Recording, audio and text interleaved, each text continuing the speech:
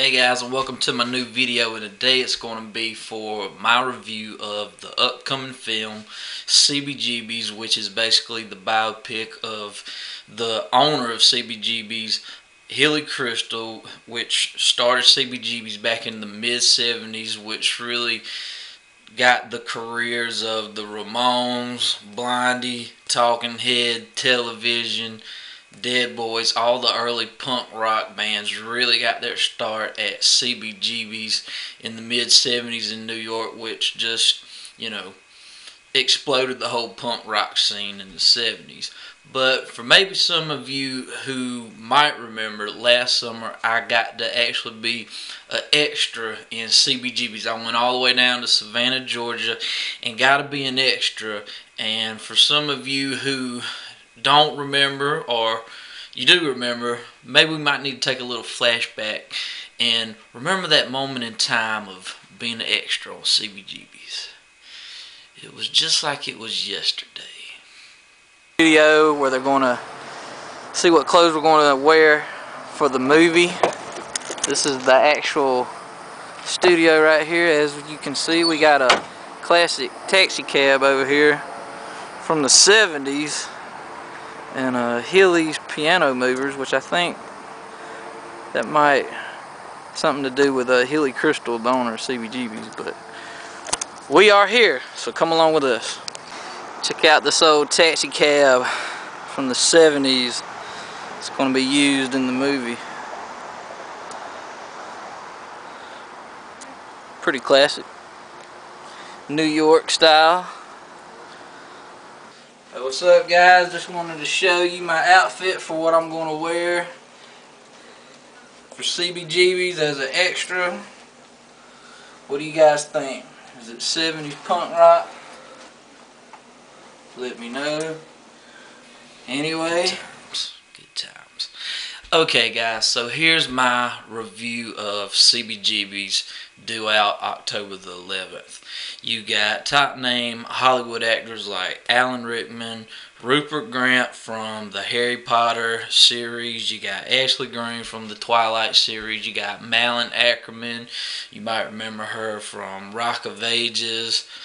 Uh, Justin Bartha from the Hangover movie. Estelle Harris, George's mom on Seinfeld. Taylor Hawkins, the drummer of the Foo Fighters. He's going to be playing Iggy Pop. Um, Johnny Galecki, I think that's his name, from The Big Bang Theory.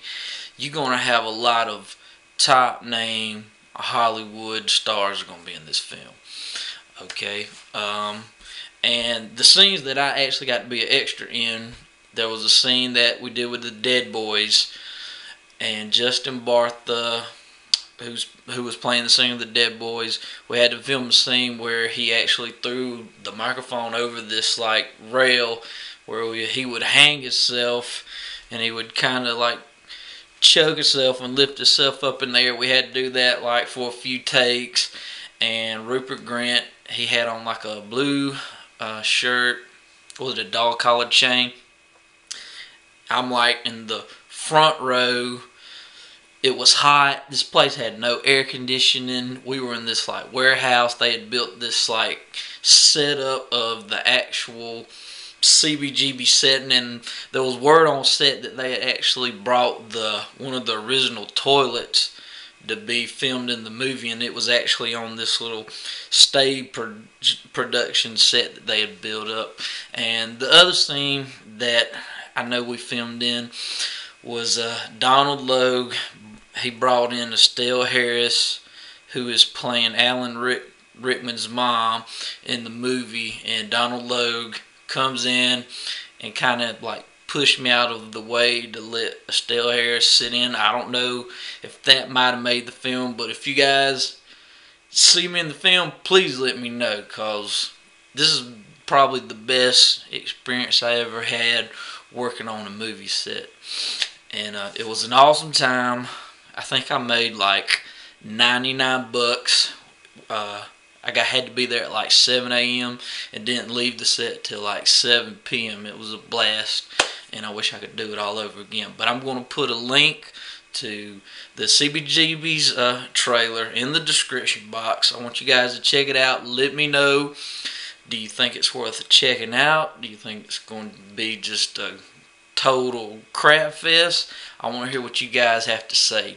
Like I said, link in the description box. Let me know what you think. Like this video, and I hope you guys go check out CBGB's out October the 11th. And keep supporting punk rock music, and I'll see y'all in the next video. Thanks, you guys.